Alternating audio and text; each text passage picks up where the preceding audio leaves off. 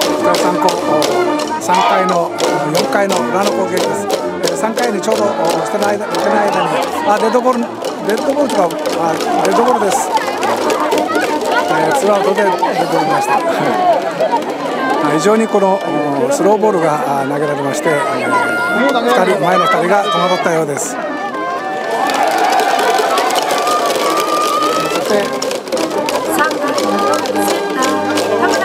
田君です。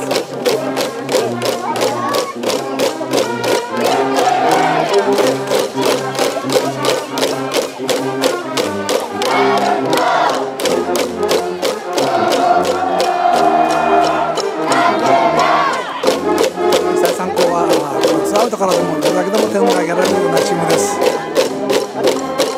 現在5対0 5点のリードで4回の裏の攻撃期待参考です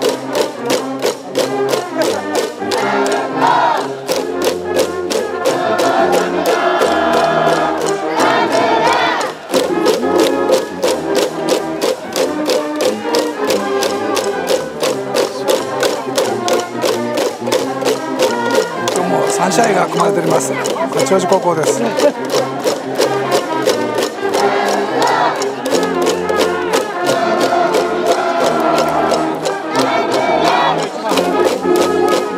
さんとややこの年のスローボールに戸惑っているところです。今度は走りました。セーフ盗塁成功です。送球が少しそれました。ショートが取り損ないました。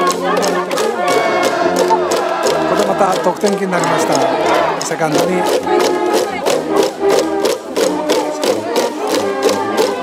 得点のチャンスです。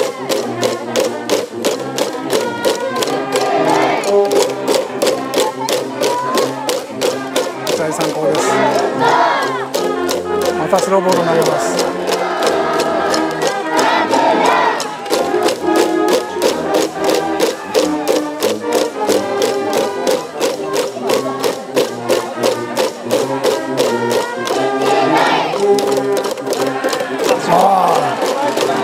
変則ボールでスローボール投げてきましてストライク入りました。本来こういう投球を持ってるのか。この18番の駒台のピッチャーです。後続ピッチャーです。